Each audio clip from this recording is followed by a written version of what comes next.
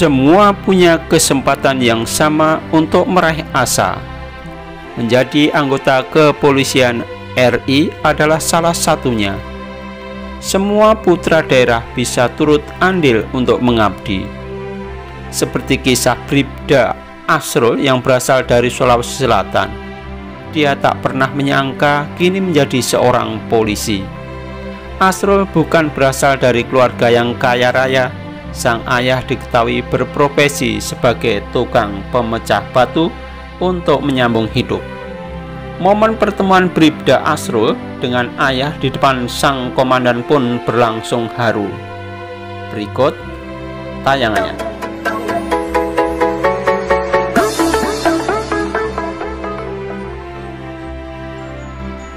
Yang pertama mencium kaki ayah Kepala SPN Polda Sulawesi Selatan, Kombes Pol Fajarudin, sedang memimpin sebuah pertemuan orang tua dengan para putranya yang kini berprofesi sebagai polisi. Di tengah-tengah acara, ia berbincang dengan salah satu ayah dari deretan anggota yang berhasil lolos menjadi polisi. Ia lantas memanggil Bribda Asrul untuk menemui di depan di tengah kerumunan, Bribda Asul langsung bergerak cepat menuju ke hadapan Kombes Fajarudin.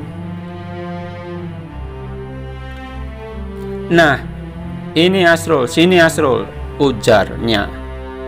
Kemudian menangis di depan komandan. Tak berselang lama, Bribda Asrul lantas mencium kaki sang ayah yang tengah berdiri di tempat samping komandan. Ia terlihat berorai air mata meski di hadapan sang komandan.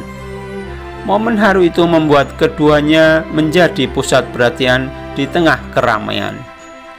Kombes Pacarudin lantas melontarkan pertanyaan kepada Bribda Asrul. Bagaimana perasaan kamu? Tanyanya. Senang komandan? Jawabnya. Dan bangga menjadi bisa mengangkat derajat orang tua. Sembari mengusap air mata yang terus menetes, Bribda Asrul mengungkap, mengungkapkan pernyataan haru bahwa dirinya kini tengah berbahagia. Ia bisa mengangkat derajat kedua orang tuanya dengan berbekal kemampuan sendiri hingga menjadi seorang anggota polisi di tanah air.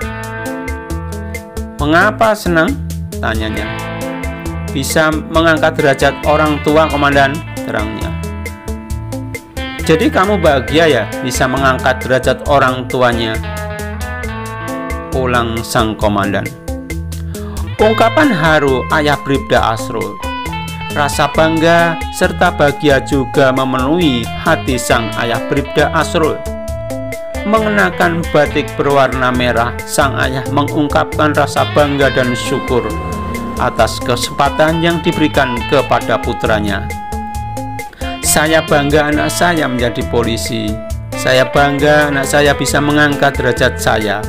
Selama ini siapa bilang polisi itu bayar? Tidak, terbukti saya tidak bayar. Terima kasih Bapak, ucap sang ayah. Demikian yang disampaikan oleh PT Kreator. Ikuti tayangan-tayangan PT Kreator yang lainnya. Sekian.